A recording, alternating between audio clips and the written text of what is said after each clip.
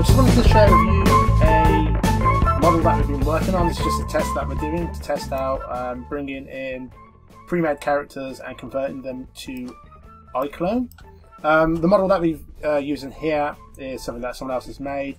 Um, I can't remember where we brought it from, but I think it was either CGTrader or maybe Turbosquid. But when I find um, that out, I'll put a link in the description below.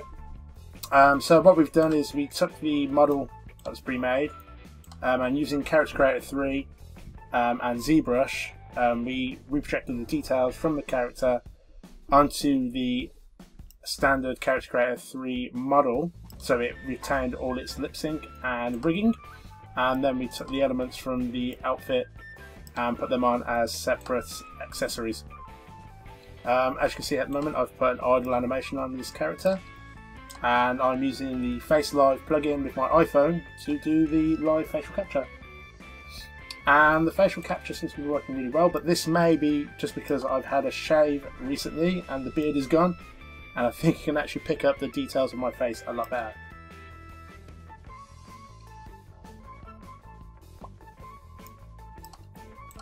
So yeah, again, something like this can be um, used with a full motion capture suit, and we think this would be great for doing uh, YouTube presenting, live presentations on stage, or Twitch gaming. Uh, we can add in a green screen background and using something like vMix or OBS, this can be um, uh, streamed um, anywhere that you like.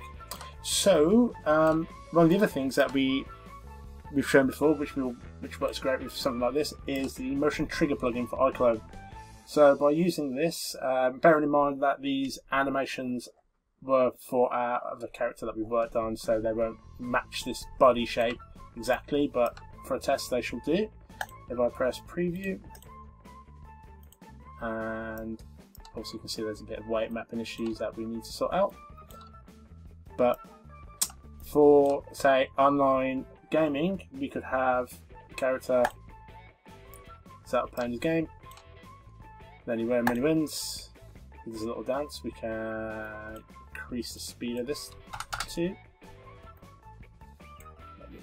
Not be too much, but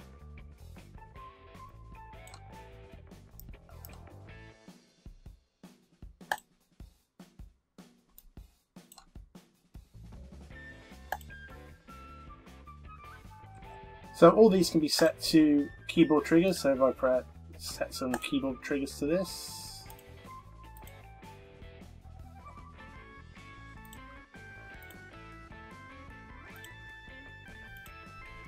Now when I'm, uh, say if I was playing a game and talking along to the audience, all I need to do is press a trigger to start an action.